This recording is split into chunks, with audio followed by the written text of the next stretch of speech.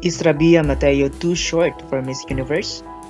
And I'm just saying, I'm just saying. Some Miss Universe fans are saying words about Rabiya Mateo being not tall enough for Miss Universe. Rabiya, Miss Universe Philippines 2020, is around 1.7 meters in height.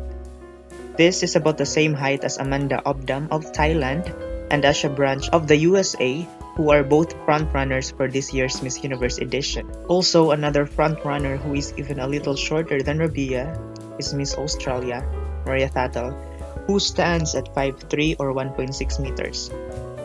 I don't think this will affect Rabiya's chances of winning. According to Lu Sierra, height does not matter in Miss Universe. who's real, who's relatable. It has nothing to do with height.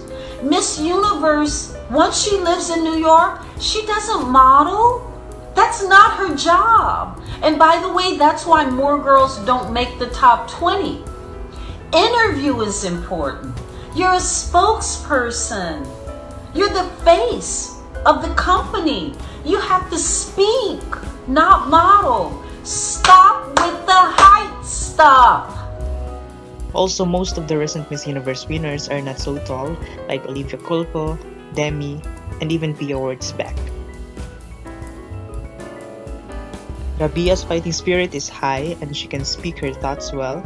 She has the face, the body, and hopefully a confident and impactful pasarela. And if the stars align for her, she'll be Miss Universe 2020.